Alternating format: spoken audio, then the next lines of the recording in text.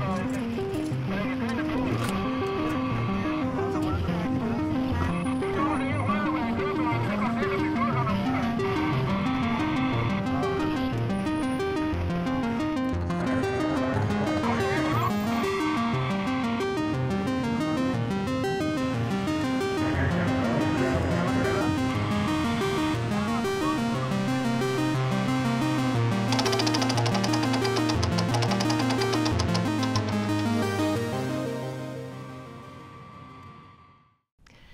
Zdravo svima, dobrodošli u Retrogradni. Danas pričamo o pravu, mladima, pravnoj pismenosti.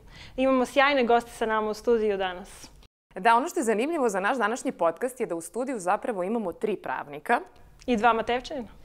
A samo nas je četvoro. Ali kasnije o tome. Ono što je važno je da ćemo pored e, pravne pismenosti i svim tim temama e, vezanim za pravo danas e, saznati nešto više i o novoj igrici, ali više o igrici o pravni se. Reći će nam članovi udruženja Pravilo, Tadija Mitić i Dragan Vukić sa nama danas u studiju. Dobar dan, dobro nam došli. Hvala, bolje vas našli. Hvala, bolje vas našli. E, da krenemo od početka. Ovaj, e, vidimo ovde igricu koja se zove Opravni se. Gore vidimo da je igrica udruženja Pravilo. Pa recite nam nešto više o njoj. O čemu se zapravo radi? Ko je izmislio?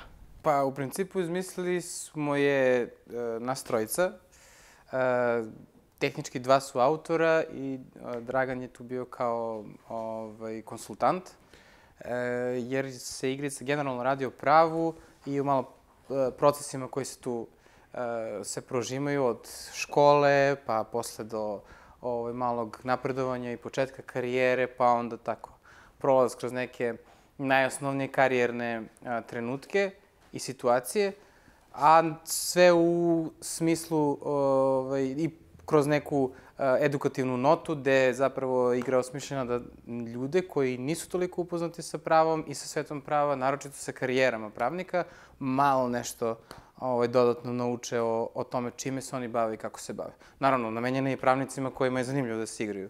Ovaj, ali više je ciljna grupa bila uh, to, ljudi koji nisu, koji nisu pravnici i koji bi volili da saznaju nešto više o tome. Znate, kad smo čuli ovaj, e, za igricu i kada smo videli kako sve to izgleda i videla sam da piše pravna pismenost. Pa sam to pokušala da googlam, ali nisam našla ništa. Zbog čega? Pa nisi našla ništa zato što koncept pravne pismenosti kao takav trenutno ne postoji u Srbiji i mi smo našli tu jednu rupu Ove, gde... Rupu u zakonu? ne, a, rupu u obrazovno-tehničkom smislu, odnosno konceptualnom smislu, gde se pravna pismenost uopšte ne izučava kod nas. To nije nešto ni mnogo popularno u, u svetu. Ove, ima, e, Kanada je onako prednjači u tome, e, i neke države u kojima je to zapravo preko potrebno, poput Indije i tako dalje, ali e, Kanada je onako rodonačelnik barem po onome što sam ja istraživao. E sad, pošto smo mi ovaj, videli da to nedostaje na našem tržištu, uh, generalno mi smo hteli da budemo, eto, neko prvi koji je izmislio tako nešto u Srbiji, pa, mislim, nismo mi izmislili, nego smo ga samo implementirali na, na srpsko tržište. Tako. I šta je, šta je pravna pismenost zapravo? Pravna pismenost ne može da se kaže šta je konkretno, zato što to nije jedna stvar, nego je to skala, koliko si pravno pismen, odnosno nepismen.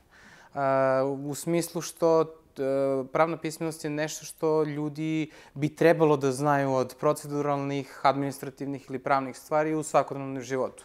Gde se vadi lična karta, kako se vadi, šta ti je potrebno, kog da pitaš, gde da odeš. Znači, te neke fundamentalne stvari.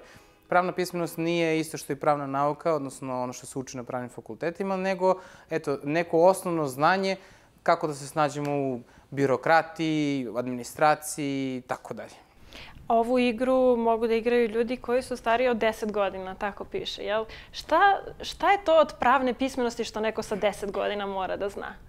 Pa u principu naj neke osnovnije stvari, ne mora ni da ih baš zna, poenta je da ih čuje u tom uh, ranom uzrastu, da ima neki pojam da tako nešto uopšte postoji. A kad ovaj, dovoljno stasa da već može da barata nekim pravnim alatima i pravnim instrumentima, E, onda je već, ovaj, da ne bude kasno da tad prvi put čuje za, za njih, nego da nauči kroz ovu igru i u ovom nekom ovaj, periodu da to nešto postoji, nešto se zove pravo, nešto se zove administracija, nešto se zove ovaj, neka procedura ili pravila koja bi trebalo da se poštuju i onda ovaj, da kad dođe taj trenutak gde on može to da implementira, da barem nešto zna o tome, neku osnovu da, da posetuje. Eto. E sad, igricu je pravilo pravilo, pa ona verovatno ima i pravila.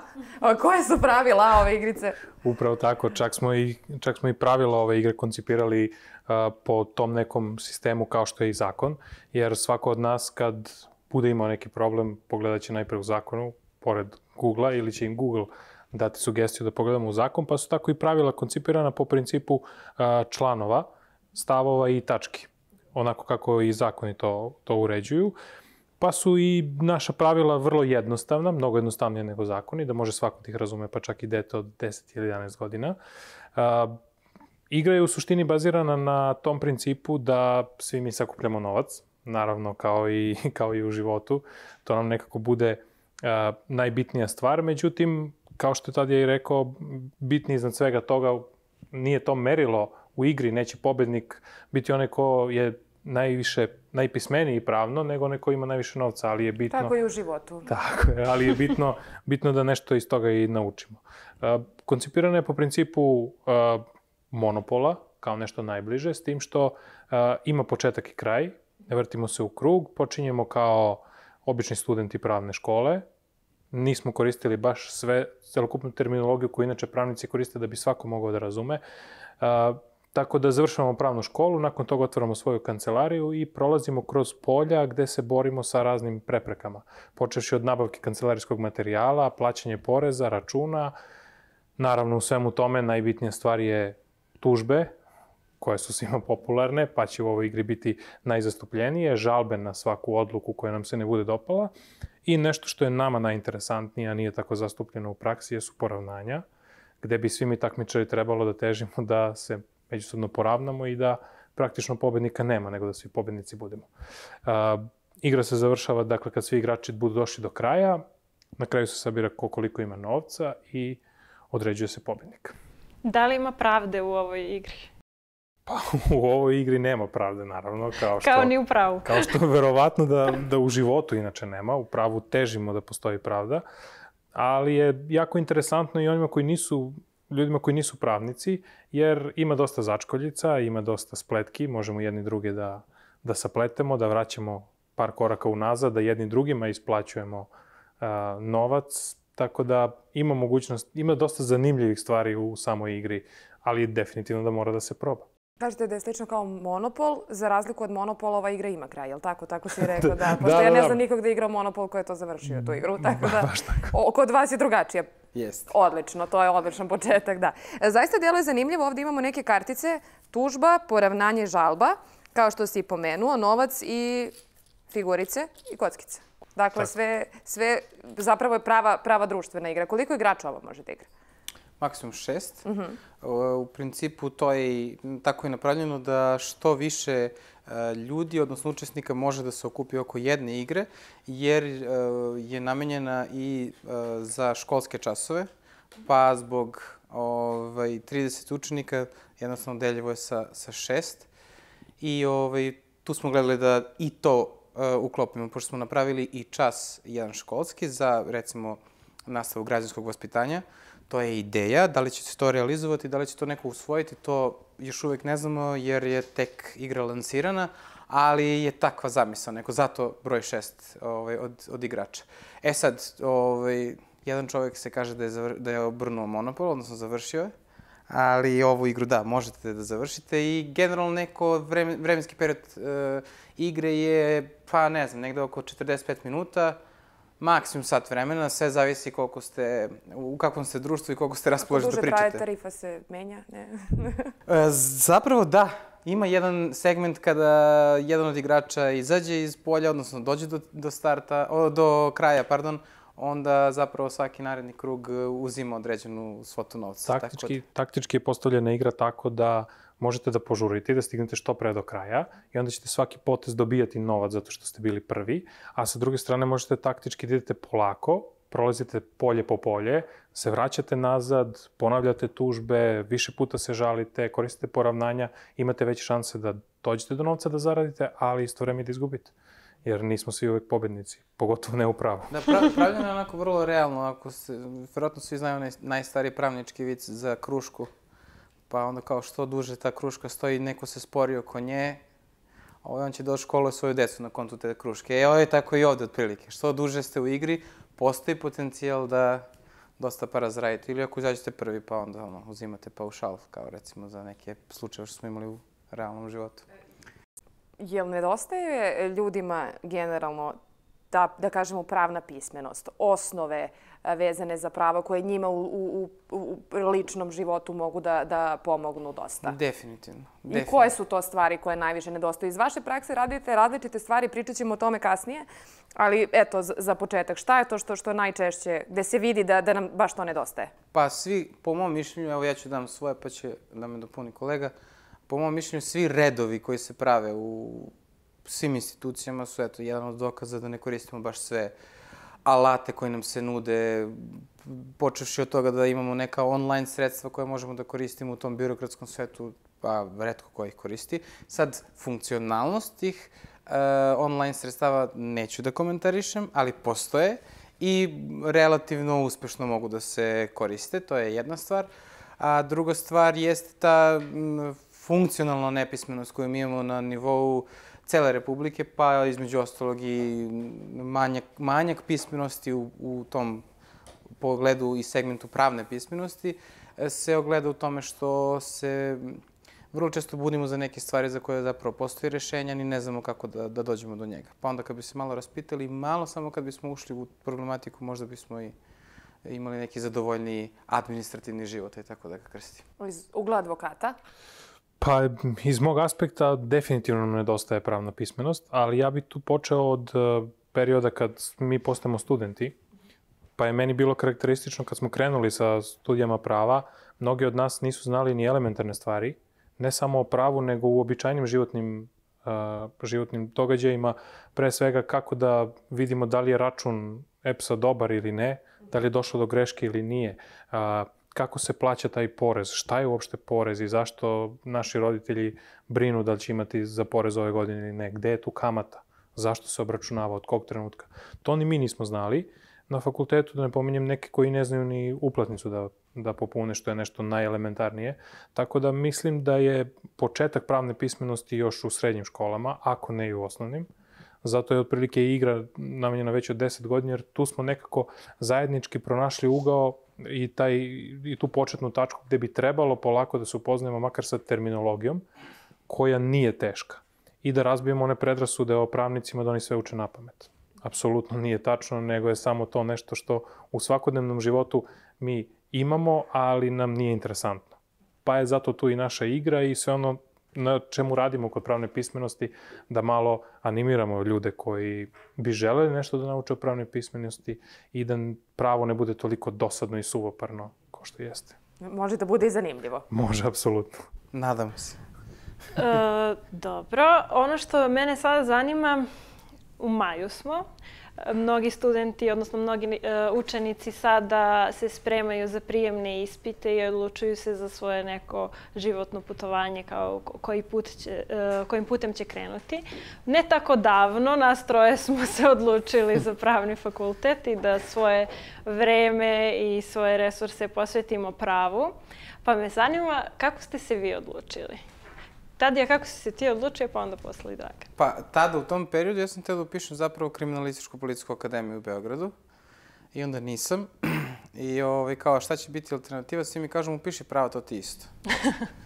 I to je bila najveća laž s kojom se susreo u životu. Prva od na fakultetu, da. Da, da, da. Ovaj, ne, mislim, e, šalu na stranu, stvarno, e, mislim da je pravo... E, sve zavisi naravno šta, čime hoće ljudi da se bave, ali ne mora da bude to neko konzervativno bavljanje pravom, odnosno pravosuđe ili advokatura, može i najveći broj ljudi će biti tamo, ali zapravo ne mora to da bude poziv kojim će da se bave ljudi ako se opredele da studiraju i završe pravo.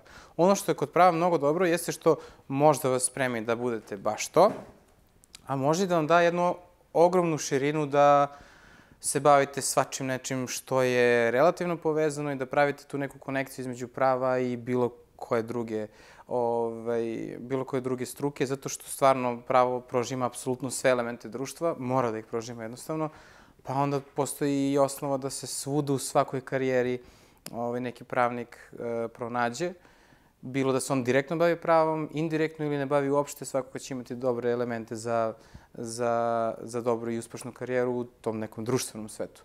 E sad, malo više o tom konkretnijem, odnosno konzervativnijem načinu ovaj, bavljanja pravom, to može više Dragan da nam kaže.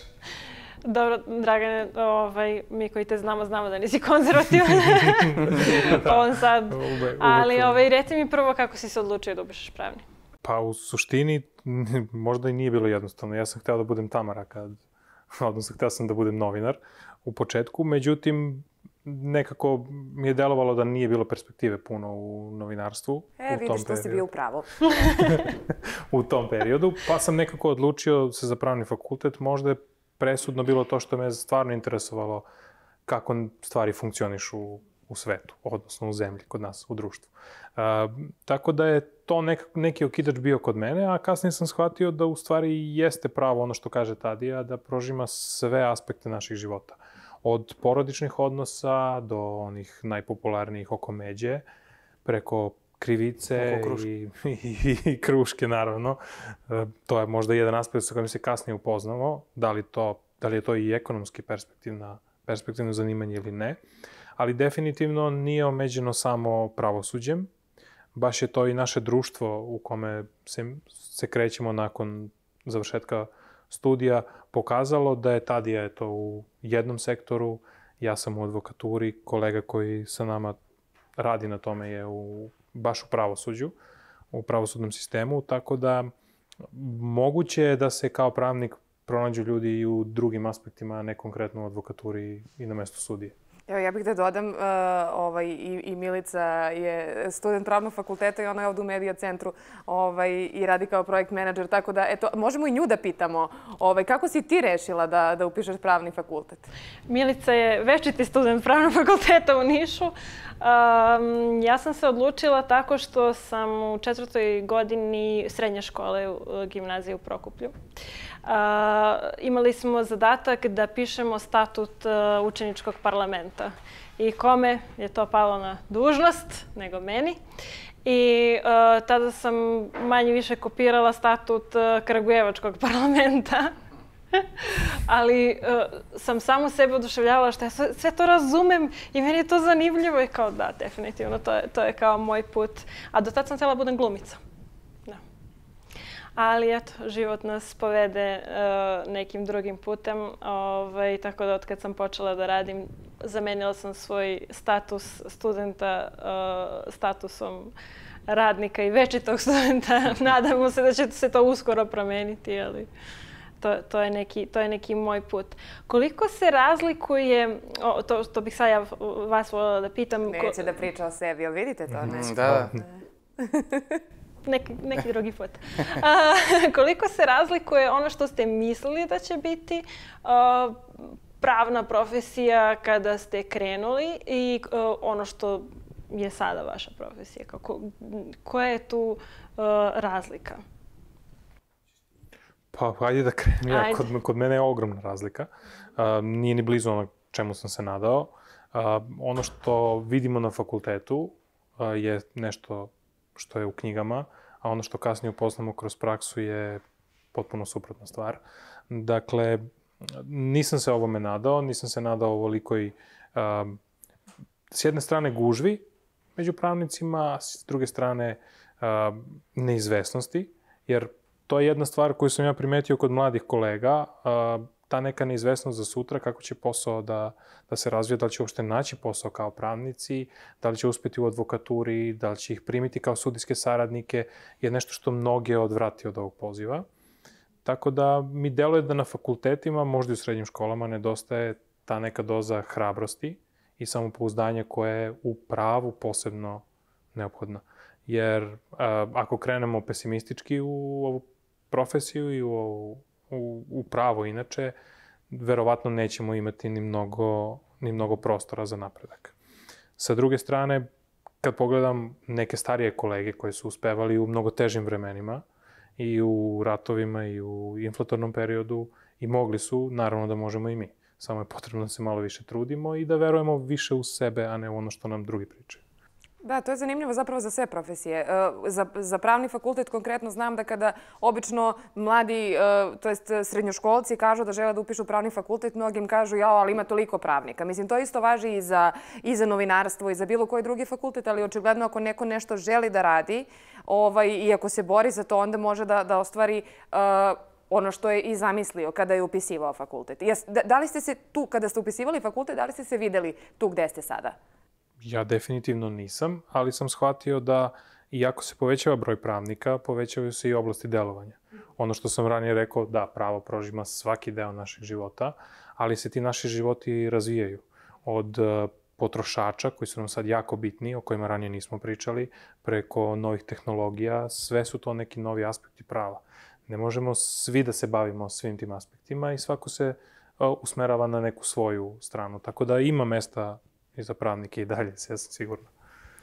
Ne znam, ja e, generalno nisam imao neku jasnu sliku, ali sam sebe video van okvira pravosuđa i advokature, to mi nikad nije bilo ovaj, e, pri, primamljivo za mene lično. E, kad, malo pre kad sam se našalio da se on bavi tim konzervativnim delom prava, to jeste tačno zato što ta struka ima taj, da kažemo, taj karakter da je konzervativna zapravo ne mora da bude uopšte i on, on konkretno se ne bavi uopšte na konzervativan način. Ali poenta priče je da, da pravo daje tu ogromnu širinu. I opet kažem, nisam vidio sebe u nekoj konkretnoj e, karijeri, odnosno u nekoj, nekom konkretnom segmentu karijere, kad sam počinjao da studiram, samo sam znao da neću da se bavim ovim nečim drugim ću. Čime, ne znam. I evo i sad isto ne znam čime se bavim konkretno.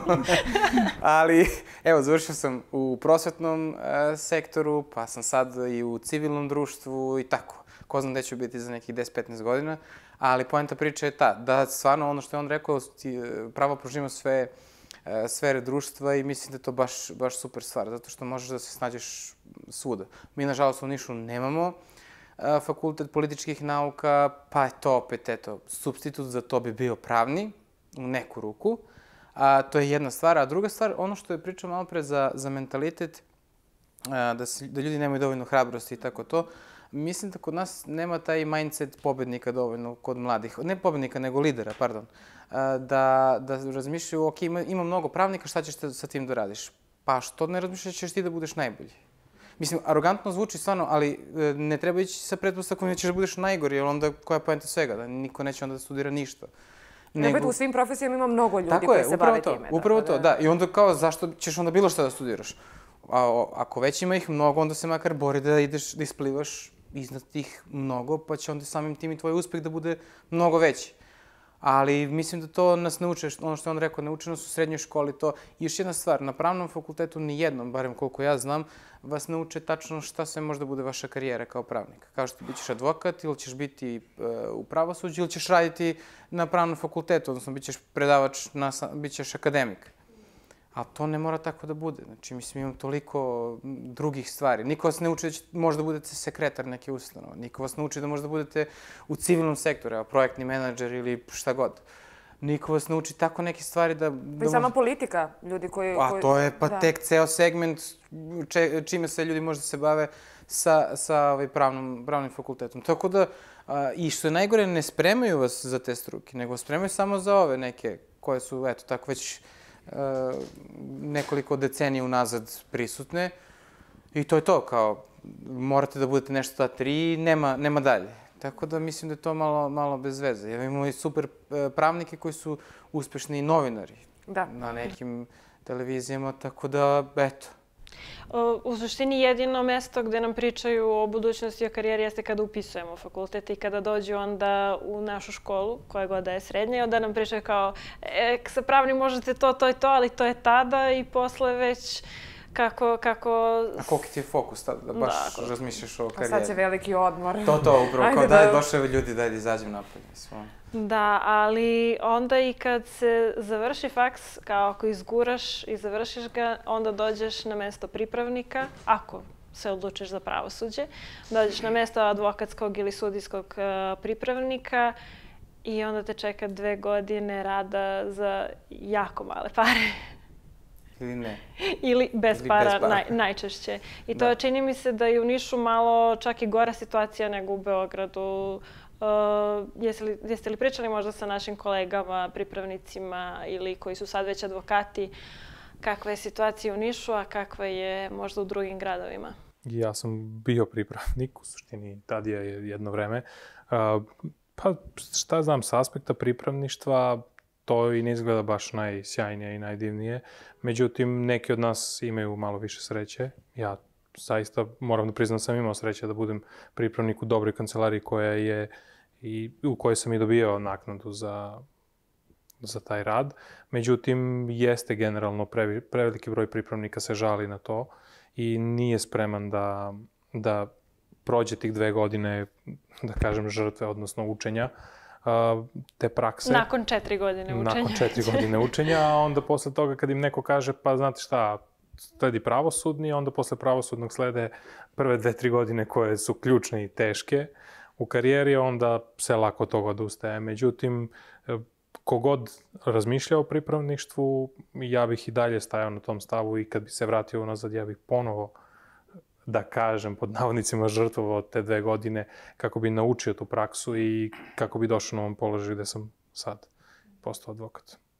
E, Pre nego što, e, izvini, pre nego, pre nego što krenemo da e, malo više ovaj, pričamo o samom udruženju pravilo i to kako ste došli na ideju da se udružite, koje, ovaj, i, i šta sve to radite, ja bih samo da pitam jedno pitanje koje me ovako zanima kao lajka. Ali lajka ko, koji voli da gleda serije vezane za, za pravni sistem ovaj, i te advokatske, pa sam htjela da vas pitam koja je vaša omiljena serija koja se o, bavi pravom. Evo ja mogu da kažem koja je moja, ali to nije Ajde, bitno. kaži nam, kaži nam. Ne, ne, baš me Ne, interesuje. sad sam shvatila da možda ne treba da kažem. Kaži, molim te, baš me Da, interesuje. ovaj, i recimo ja sam trenutno gledam seriju uh, Kako se izvući sa ubistvom i, i izuzetno mi je zanimljiva. Međutim, čula sam od koleginice da to nema veze sa... sa Apsolutno. da, da, da je to sve laž. Tako da tu sam se malo ovaj, rastužila, pa eto, htjela sam da vas pitam šta vi mislite. Zapravo ne koja je najtačnija, nego koja je vama omiljena, a onda možemo i o tome koja je najtačnija. Možda bude ovaj, to zanimljivo nekom da čuje. Hajde, Hoćeš možeš nam držati Pa, sad ili- Da, imamo isto omiljenu seriju, tako da... Nama je isto omiljena serija u principu, o tome smo mnogo polemisali dok smo bili studenti i, ovaj, i dan danas. E, to se kod nas, ja mislim, prevodi kao dva lica pravde, suc, odnosno odela. Ali tu, ta serija, barem meni, iz mog ugla, e, nije uopšte zanimljiva zbog pravnog e, aspekta, nego zato što tu se uči nešto se zove profesionalizam, nešto se uči međuljudski odnosi na poslu, nešto što Tako, neki više društveni segmenti, ali opet, od, kada gledaš 4-5 puta jednu te istu seriju, ovaj, onda ti bude malo, tako ti neki detalji upadaju u oči. Ali da, t- ja mislim da su te serije, e, konkretno za našu struku, jako korisne. E, korisne ne u smislu da ćeš vi sada naučiti tu stvarno nešto što je pravo i tako to, nego e, u motivacionom e, i inspirativnom e, smislu. Gde je to recimo konkretno toj, e, pomenula si malo pred, da ćemo pričati i o tome kako je nastalo pravilo, baš u toj seriji se pominje nešto što se zove pravna klinika, besplatna pravna klinika, koja je tamo u Americi mnogo drugačije uređenije nego ovde kod nas, nebitno, ali daje ti neku U vašoj ili u mojoj seriji? u moje u I u mojoj isto. Da, imaš zapravo i tamo. Ma ja sam to gledao do druge sezone pa sam prestao. Ali e, i to je tačno da ta serija je potpuno nerealna, jer ono pobiše pola Amerike niko da, da odu u zatvor. Jeste, malo su preterali, stvarno. Mislim, ali dobro.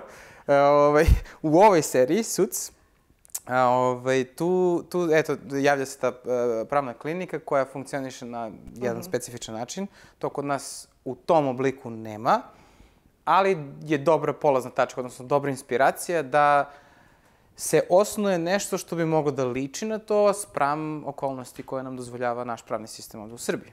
Tako da, eto, zašto su meni... Dobro, Boston Legal ili bostonski advokati, to nam Da, je bilo dobro, to- to je- interesantno. Ono je više je komedije. već, da. Ali to je onako, eto... A, ali McBeal recimo bila prva serija koju smo gledali, bar ja koja se sećam. Dobro, to baš, da. Da, baš. da. Da. Jeste, jeste. Ta, tad me baš zainteresovalo, Da. pravo iskreno, ali onda ovaj, posle se, sazna se da to nije baš to tako, ali, ali je zanimljivo. Svakako. A šta je tebi suc omiljen? Po, pa Suits je po meni mali princ, u Da, suštini. bravo. Nešto što je dobro gledati kao student, onda kao pripravnik i onda kao advokat, u mom slučaju. Tad i u jednom slučaju uh, ima elemenata i, i u pripravničkom dobu i kao grant menadžer i kao projekt menadžer i u nekim i u, kao sekretara škole.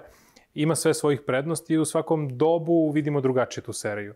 A, konkretno, sada ja vidim kao neki moderni način rada, jer je po meni naša advokatura a, u odnosu na tu američku, bez obzira na razlike u, pravosu, u tom sistemu, a, konzerva, konzervativna. Zato se Italija šali sa mnom stalno da smo i konzervativni i da nismo savremeni jer ne koristimo ta neka savremena sredstva, ali je zaista stimulativna i može da ima e, elemente unapređenja posla i ličnog motiva i a, pa sa druge strane i nešto što je zabava, a da pobegnemo od onog što je realno. Dobro, eto preporuka za seriju. Apsolutno. A sada vas pitam i za film. Izvinite, pa ću Milicu. Dobro, za film, a stvarno ili? Pa možeš. Da, ja ste da čujem Milicino mišljenje za seriju, ali za film konkretno, uh, pa ne znam kako se sad to zove na srpskom, ono, A Few Good Men, to je meni mm -hmm. baš bio vrhunski film kad sam bio klinac, nevezano za pravo, ali to je stvarno dobar, dobar film. Ovi ostali su, pa, ono, ima, kako se to isto, The Lincoln, uh, advokat na točkovima ili tako nešto mm -hmm. se zove. To je sad ima i seriju. Matthew McConaughey. Gledao sam i seriju sad, počeo sam zapravo da gledam, nisam gledao sve. A, to je Netflix original, ja mislim, jeste. Ali taj film mi je bio dobar sa McConaugheyem. Tako da, eto, ima razno raznih filmova koji su meni bili interesantni, ali generalno su mi mnogo zanimljivije e, pravničke serije nego uh, filmovi. Kao duže traju. Ja bih možda samo rekao šta ne bih gledao ponovo, to je Đavolji advokat. Dobro, da. ga skoro, tek, tek nedavno sam gledao taj film i ne bih ga gledao ponovo. To je možda negativna preporuka. Milice, evo da pitamo i tebe. Uh, meni je omiljena serija pravnička The Good Wife, dobra žena. Uh, I mislim ima više razloga zato što je ona žena koja a, posle 13 godina ne bavljenja pravničkom a, profesijom se vraća odjednom nazad na radno mesto i kao praktično dobija mesto samo zato što je šef zaljubljen, ali to, to nema veze. Mora malo Hollywooda. kao to, to malo Hollywood. Ona dobija zbog toga i zbog toga što se on seća koliko je dobro bila na fakultetu, ali a, onda kasnije kida do kraja serije. Kida. Mnogo je dobra serija. To mi je omiljena. Suc mi je mnogo nerealna. Mislim, ja bih voljela da, da u, u životu upoznam nekoga ko me daš ovako fasciklan pogleda i kaže awesome to ćemo da uradimo. A dobro, to je, to je kao superhero žanr u pravu. Da, Baš da, da. to je suc. Pa on Kao čekaj bre da pročitam, znaš koliko redova tu ima. Jesam, to krati minutažu onih dosadnih scena kao u onim indijskim serijama gde te ono, 100 minuta čekaš da se nešto dogodi i onda kao ništa se ne događa. Ovde kao pogledao, shvataš da je on pročitao. I mora malo i umetničkog eh, dela da ima. Ali dobro, to ja sam... Sve je to Hollywood. Jeste, jeste, slažem se. Sla... Mora malo drame da, da se... E pa da dobro, eto, dali smo neke, neke ideje za serije koje treba gledati i za neke koje ne treba gledati. Sada da se vratimo na ove ozbiljne uh, pravilo teme. Ovaj, uh, u, koliko dugo postoji udruženje pravilo i kako ste rešili da, da se udružite? Pa ako pitaš u APR-u, postoje dve godine, a duže od toga kao neformalno. Kao ideja. Kao ideja tri, skoro tri i po godine postoji otprilike i to je krenulo tako što sam ja napravio neki sajt jer mi više bilo muka da slušam ljude na poslu koji me pitaju neke stvarno fundamentalne stvari. Ove, na primer? Na primer, kad treba da popunjavaju neki obrazac, pitaju me šta treba da upišem na mesto gde piše država. Ja se ne, ne, ne šalim sad uopšte. Uh, e, piše ono kao prazna crta, blanko, i dole u zagradi stoji država. I mene dolazi osoba koja je završila fakultet i pita me šta treba ovde da upišem. A popunjava obrazac za, nebitno, sad pa da ne pričam zašto. Pa da, mislim, ne znam, Uganda bi napiši ili tako nešto. Ovaj, e, do te mere da su ljudi toliko prestravljeni da ne znam šta da upišu, u smislu njeno pitanje e, je bilo da li da upiše Republika Srbija ili samo Srbija. Šta je kao pravilno, šta je ispravno. E, to nam pokazuje koliko mi nemamo pravnu pismenost, odnosno nemamo tu slobodu i u ogromnom smo grču kada je u pitanju ovaj, pravna pismenost. I sad, fast forward, ovaj, dolazimo do, do toga da ja a, pokrećem sajt koji ima blog sekciju a, e, u okviru tog sajta da pišemo svim temama koje nema u mainstream medijima, jer sam tu našao da ovaj, no, tipa nešto iz ekologije, nešto iz uh, sveta gaminga, odnosno igrice uh, i tako neke stvari. Tako, to su bili početci, do toga kako je definisana zastava Republike Srbije, što baš tako, šta je državna, šta je narodna i tako dalje. Ove, I to je bila ideja, da ljudi počnu malo da čitaju. E onda počeli ljudi malo više da čitaju nego što sam ja to očekivao da će da se desi, jer ono, realno kog briga, pravo mnogo dosadno meni što se bavim njima, kamoli ljudima koji, ono, e, to treba da pročitaju nešto od toga. A zapravo dosadno može da bude samo pristup. To je, Jeste, to je sve u tome, da, da, sve u pristupu. O, ja sam tekstove gledao da pišem sa što manje tog nekog pravničkog rečnika, birokratskog jezika i tako dalje. Znači, da ga onako banalizujem. I onda sam naišao prvo na veliki otpor uh, pravnika, kao, šta pišeš ovo, ne piše se tako. I onda ja, da, znam da se ne piše tako, baš zato ga i pišem. Jer svi vi koji pišete tako, ljudi koji nisu pravnici, neće da čiti to, kao, ne razume šta piše. Da, e, sad, i sad je fora što, što je to imalo jak odjek i neke ozbiljnije firme su se uključile tu da moje tekstove rešeruju, poput HR komore Srbije i tako dalje, ja to meni bilo onako wow. Ovaj, I onda smo došli na ideju kao ajde što ne pokrenemo neku dublju priču osim pisanja blogova. I to, to su zapravo njih dvojica kolega, sedeli smo na nekoj kafi, kao što ne pokrenemo nešto da registrujemo to pravilo, pa kao udruženje, eto kao meni su predložili, aj registruj ga ti, pa ćemo da vidimo šta ćemo da radimo, nešto da se igramo. I onda... I napravili ste igricu. I sad se stvarno igramo. Ali da, tako je počelo zapravo. I onda smo igrom slučajeva preko nekih ljudi čuli da postoji nešto što se zove grant, i da neko daje novac za neku ideju ako hoćete da je realizujete. Kao mi smo rekli što bi nama dali pare za ovo što, čime se mi bavimo. I onda neki dobri ljudi iz civilnog sektora rekli evo može i tako je počelo. Otprilike s prvim projektom koji se bavi informacijama od javnog značaja. To smo radili, ovaj, najviše pravilo, malo smo se savjetovali e, iz tog nekog advokatskog ugla i sa još nekim ljudima koji su se bavili time. I tako, ovo, to je otprilike tako krenulo. Pa sad, evo, dok smo došli do ove igrice i pišemo jedan učbenik o pravnoj pismenosti koji će uskoro biti objavljen. Tako da, i pravit ćemo kurikulum i predavanje o tom i tako dalje. Ali evo, sad smo, za sad smo ovde. Jel postoje slično udruženje ovaj, u Nišu, na jugu, u Srbiji uopšte? U Srbiji da, ali na jugu apsolutno ne. Čak van Beograda mislim da ne, ili barem mi nismo čuli za njih. Možda ima, ali ovaj, pošto civilni sektor u jako veliko i da kažemo, nije, nije dovoljno ispromovisan u Srbiji, ima tu neku negativnu konotaciju da. među narodom, nažalost, onda nismo, nismo baš u toku da van Beograda postoje takve. A u Beogradu ima stvarno nekih ovaj, baš velikih organizacija koje se bave time, tako da to je super, ali opet to je malo centralizovano. Isto mislim da ne postoji ni jedna igrica E, to društvena igrica koja ima konotaciju pravne pismenosti i prava uopšte, jer smo zaista tražili, volao bi ako je neko na srpskom tržištu pronašao neku takvu igru, volao bi da probam i njihovu. Da, da, definitivno, ali mislim da nema, e, pre nego što smo je napravili, ja sam bio vrlo uporan da, da nađem neku takvu igru, da je kupim i da, kao, da se igramo, jer sam, e, ideja je bila da sve to ide mnogo e, na lakši način, u smislu da mi kupimo igricu, pa onda od nje da pravimo a, i na njoj da baziramo pravnu pismenost. Naravno, uz dozvolu tvorca. E, pa pošto nismo našli, onda smo rekli, dobro, aj sad ćemo mi da napravimo. I malo smo bili uzbuđeni zbog toga, pa smo žurili i onda svima koji probaju igru i nađu nedostatke, izvinjavamo se, bili smo baš uzbuđeni da to što pre zaživi, da što pre imamo igru, da se svi igramo zajedno. Definitivno. Ali... Dobro, ovo možemo da zovemo kao prvo izdanje. Recimo. Jeste prvo izdanje, a već spremamo drugu igru. Da Tako da, baš, baš vam se žori. Ne, ta, za tu drugu igru ne. Ali to će... Bićemo strpljivi. Bićemo strpljivi, to je nauk od ove prve. E sad, ja bih se samo malo vratila unazad. E, prosto kad pričamo o pravnoj pismenosti i kažemo ljudi nisu dovoljno pravno pismeni, imaju u velikom su grču kada pi, uh, popunjavaju obične obrazce. Da li je to, ne znam, zahtev za tuđu nego i pomoć za roditelja koji je, kome tako nešto potrebno ili je zahtev za penziju ili šta god.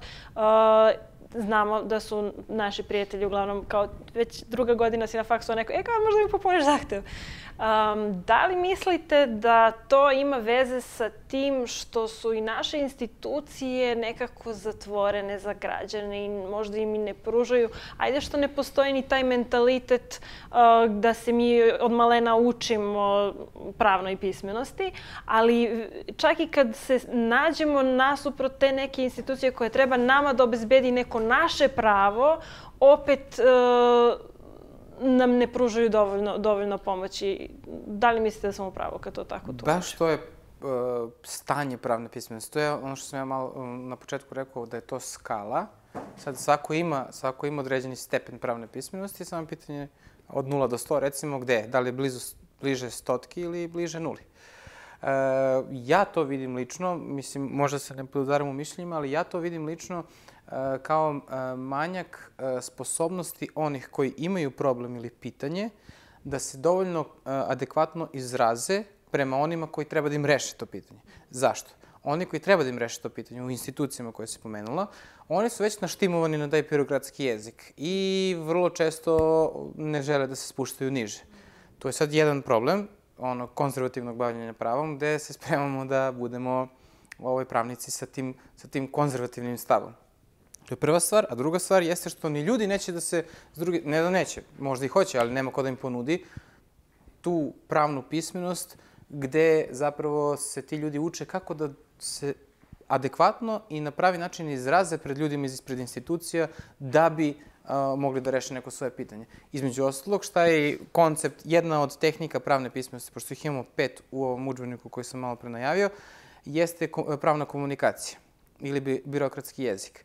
A, to je jako bitno i, evo, ti ćeš da mi ispraviš, uh, kad odete kod svog, advokata pa imate neki problem i onda treba da mu objasnite ovaj, šta je vaš problem i, šta treba on da reši. Ja sam siguran da će svaki advokat ili 99,9% advokata mogu da vam reše svaki problem, samo ako mu objasnite apsolutno celo činjenično stanje na način da, ga on, to, da on to razume.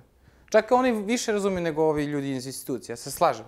Ali ako ste opet, ako je stepen pravne pismenosti kod građana na višem nivou, mnogo će lakše posao biti za advokata da im pruži što adekvatniju pomoć. To opet kažem kao neko ko nije advokat, znači to će onda me ispravi da li sam u pravu ili ne, ali samo to verujem da je tako, zato što mogu da kažem sigurno kao neko ko je radio u instituciji, pa kad dođu ljudi da mi objašnjavaju svoj problem, oni krenu od kulina bana da mi pričaju zašto su u četvrtom razredu pali i polomili nogu, pa sad došli kod mene da me pitaju kako da popune obrazac. Stvarno me ne interesuje ovaj prvi deo, nego da pričamo o konkretnim stvarima u obrazcu. E, to je poenta.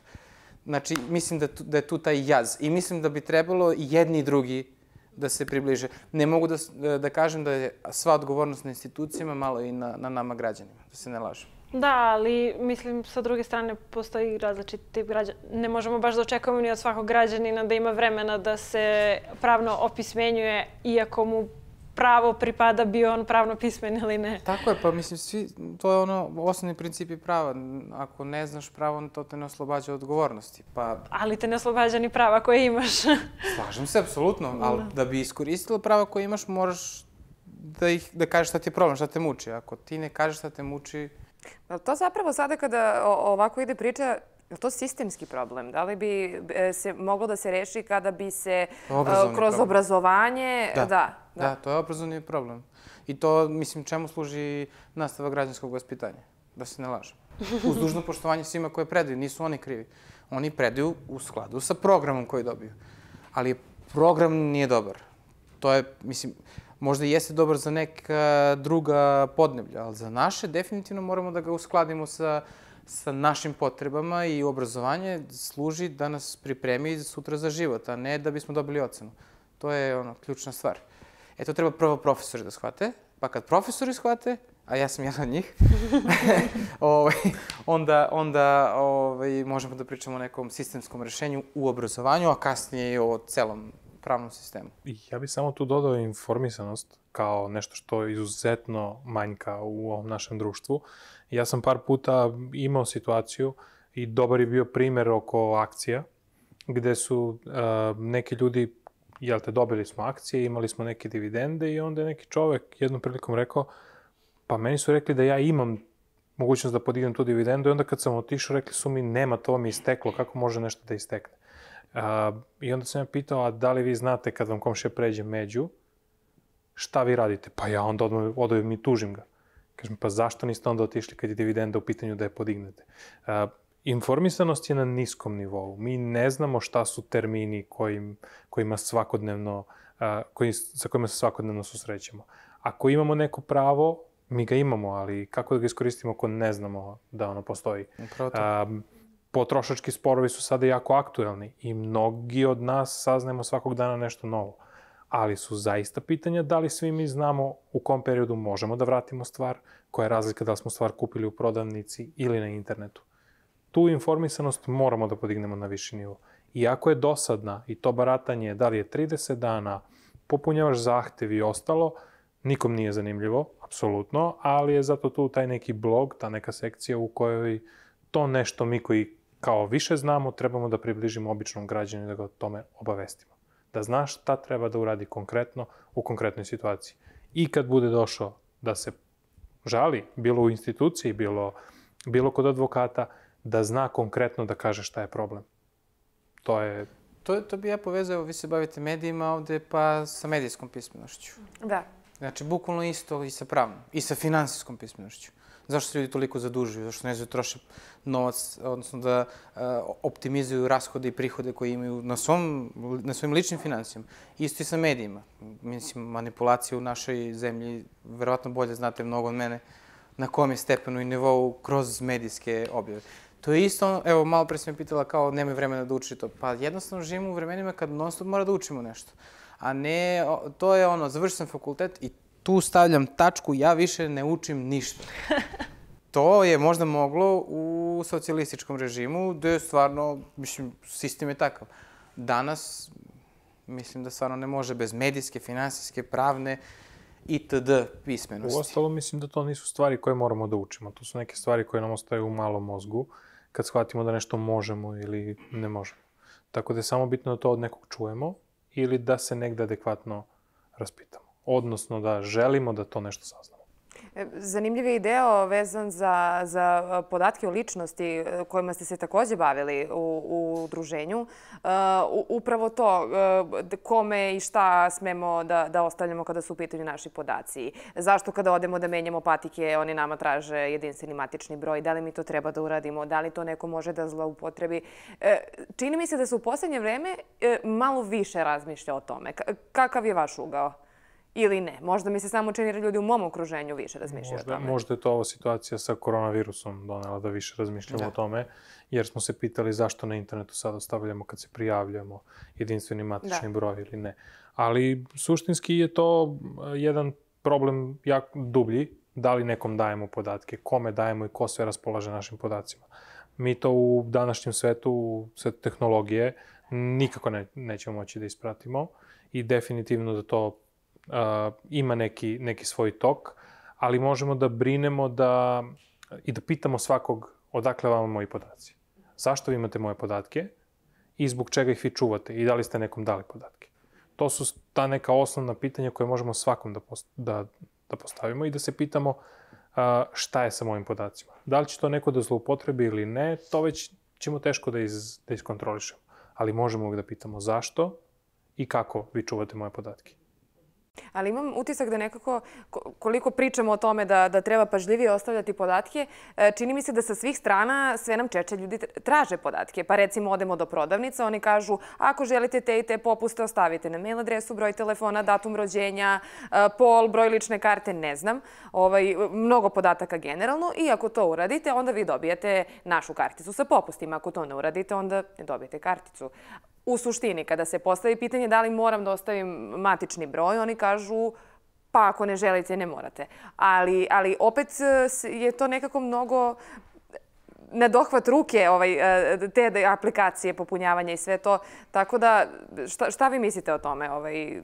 Pa mi živimo u informacijnoj eri trenutno. To je mm -hmm. činjenica, pa onda ono, osnovna merna jedinica svega jeste sad informacija. To je to. IMBG, ime, prezime, pol, svašta nešto. E, ono što e, je dobro kod nas jeste da mi imamo jednu instituciju koja e, ne karakteristično za, za našu zemlju vrlo dobro radi svoj posao.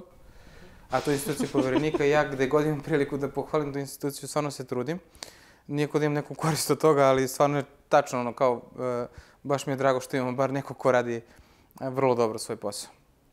E, i tamo e, postoji e, i ta edukativni, edukativni segment gde mogu ljudi da pročitaju nešto. Čak su napravili i za decu, što je mnogo zanimljiva stvar, da bukvalno onako srednjoškolci mogu da pročitaju da i oni imaju neka prava, da i oni ne moraju da daju svoje podatke ako to nije potrebno i tako dalje. Sad ljudi mnogo mešaju e, tu zaštitu podataka, pa onda se bune što im policija traži neke podatke i tako dalje. Mislim, to već treba znati gde je granica, ko može i ko mora a, da ima neke određene podatke o vama.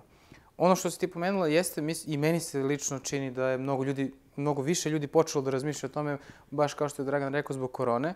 Jer kao tu smo bili zatvoreni, sve je naglo prešlo i sve se naglo digitalizovalo, pa su ljudi rekli, čekaj Stanja, što baš ja da ti dam sve? Da. Da. Ali preventiva postoji, a to je da doziramo koliko dajemo i da pitamo zašto dajemo, to je jedna stvar. Uh, non stop, uh, ovaj, odnosno kontinuirano uh, edukovanje na temu uh, tog aspekta prava, ajde, kad pošto pričamo o pravima, to jeste deo prava, ove, je neophodan jer se non stop nešto menja.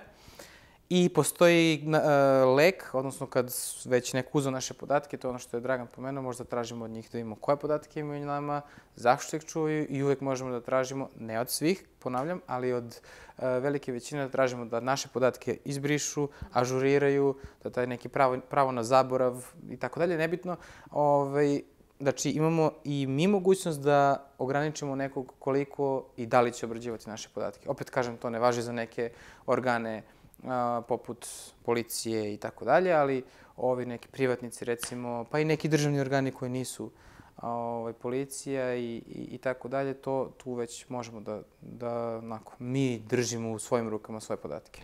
Da, uh, postoji taj aspekt preventive, kao što si rekao, i postoji mogućnost da tražimo uh, da se naši podaci obrišu, ali koliko uh, se taj zakon koji postoji i sva ta pravila koje postoje, da li u stvari imate ošte podatke o tome koliko se to zapravo primenjuje. Mi znamo, na primjer, da politiku privatnosti treba da ima svaki sajt koji sakuplja kolačiće, a uh, da, li, da li to neko zapravo kontroliše? Jer da, da li imamo već neke presude vezane za zaštitu podataka ličnosti? Da li uh, su sudovi dovoljno uh, opremljeni znanjem da, da presuđuju u ovakvim sporovima? Zakon naš je užasan.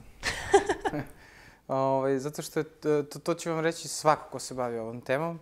Ove, ovaj, mislim, sad ja malo ovaj, napadno to kažem, ali uh, poenta priče da je to E, GDPR famozni, o kome svi sad pričaju, koji su u ovom svetu, a to je ta opšta povelja Evropske unije o zaštiti podataka o ličnosti, koja je bukvalno copy-paste i u Google Translate puštena i vrlo loš prevod. Ali nije čak ni bukvalni copy-paste, zato što nedostaje onaj najvažniji deo preambula u kojoj se objašnjavaju pojmovi koji su kod nas potpuno novi. Pa da, copy-paste uh, onog dela koji nam odgovara, čak nam ni ne odgovara. Ali ajde to što se prekopira, to je okej, okay, zato što je to dobro rešenje. Ja se slažem i mi težemo ulazku u Evropskoj uniji. Ali to onda znači da sve ostale zakone moramo da uskladimo sa tim. A to kod nas je proces od 200 godina, verovatno.